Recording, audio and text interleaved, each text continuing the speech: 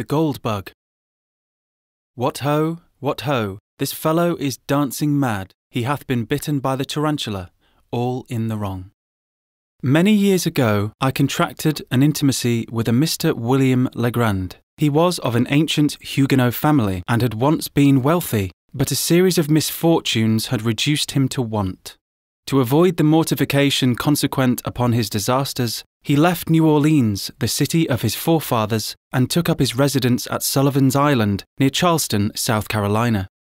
This island is a very singular one. It consists of little else than sea sand and is about three miles long. Its breadth at no point exceeds a quarter of a mile. It is separated from the mainland by a scarcely perceptible creek, oozing its way through a wilderness of reeds and slime, a favourite resort of the marsh hen. The vegetation, as might be supposed, is scant, or at least dwarfish. No trees of any magnitude are to be seen. Near the western extremity, where Fort Moultrie stands, and where are some miserable frame buildings, tenanted during summer by the fugitives from Charleston, dust and fever, may be found indeed the bristly palmetto. But the whole island, with the exception of this western point and a line of hard, white beach on the sea coast, is covered with a dense undergrowth of the sweet myrtle, so much prized by the horticulturists of England. The shrub here often attains the height of 15 or 20 feet and forms an almost impenetrable coppice, burthening the air with its fragrance. In the inmost recesses of this coppice, not far from the eastern or more remote end of the island, Legrand had built himself a small hut, which he occupied when I first, by mere accident, made his acquaintance. This soon ripened into friendship, for there was much in the recluse to excite interest and esteem. I found him well educated, with unusual powers of mind, but infected with misanthropy, and subject to perverse moods of alternate enthusiasm and melancholy. He had with him many books, but rarely employed them.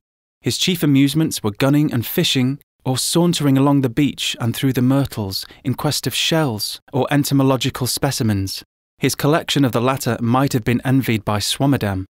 In these excursions, he was usually accompanied by an old Negro called Jupiter, who had been manumitted before the reverse of the family, but who could be induced, neither by threats nor by promise, to abandon what he considered his right of attendance upon the footsteps of his young Massa Will. It is not improbable that the relatives of Legrand, conceiving him to be somewhat unsettled in intellect, had contrived to instill this obstinacy into Jupiter with a view to the supervision and guardianship of the wanderer. The winters in the latitude of Sullivan's Island were seldom very severe, and in the fall of the year it is a rare event indeed when a fire is considered necessary.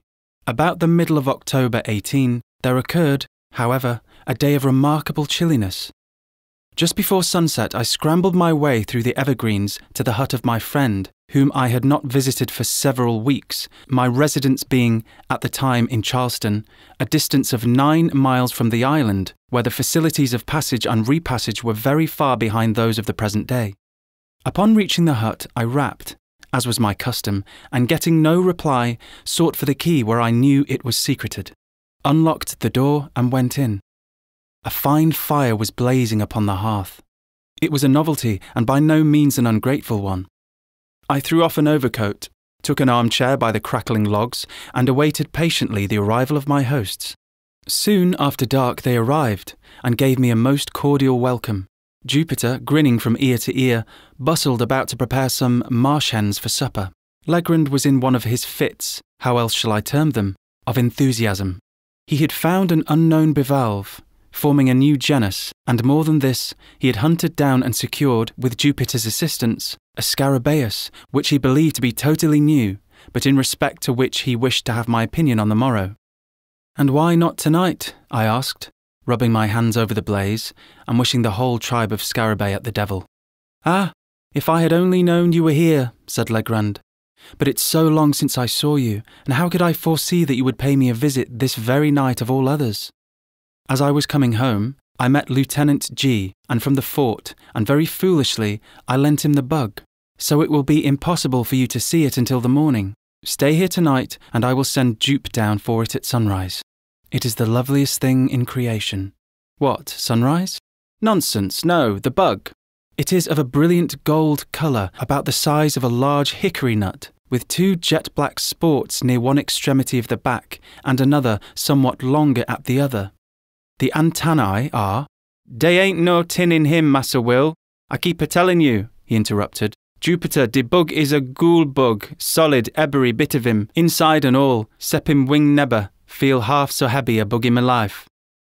Well, suppose it is Jupe, replied Legrand, somewhat more earnestly, it seemed to me, than the case demanded. Is that any reason for your letting the birds burn? The colour, here he turned to me, is really almost enough to warrant Jupiter's idea. You never saw a more brilliant metallic lustre than the scales emit, but of this you cannot judge till tomorrow. In the meantime, I can give you the idea of the shape. Saying this, he seated himself at a small table on which were a pen and ink, but no paper. He looked for some in a drawer, but found none. Never mind, he said at length, this will answer. And he drew from his waistcoat pocket a scrap of what I took to be very dirty foolscap, and made upon it a rough drawing with the pen. While he did this, I retained my seat by the fire, for I was still chilly. When the design was complete, he handed it to me without rising. As I received it, a loud growl was heard, succeeded by a scratching at the door. Jupiter opened it, and a large Newfoundland belonging to Legrand rushed in, leaped upon my shoulders, and loaded me with caresses, for I had shown him much attention during previous visits.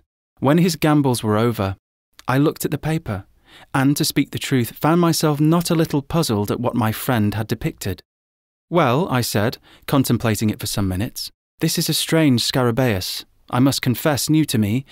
Never saw anything like it before, unless it was a skull or a death's head, which it more nearly resembles than anything else that has come under my observation. A death's head? echoed Legrand. Oh, yes, well, it has something of that appearance upon paper, no doubt. The two upper black spots look like eyes, eh? And the longer one at the bottom like a mouth, and then the shape of the whole is oval. Perhaps so, said I, but Legrand, I fear you are no artist. I must wait until I see the beetle itself, if I'm to form any idea of its personal appearance. Well, I don't know, said he, a little nettled. I draw tolerably, should do it at least, have some good masters, and flatter myself that I am not quite a blockhead. But my dear fellow, you were joking then, said I. This is a very passable skull indeed. I must say that it is. We hope you enjoyed this preview. To continue listening to this audiobook on Google Play Books, use the link in the video description.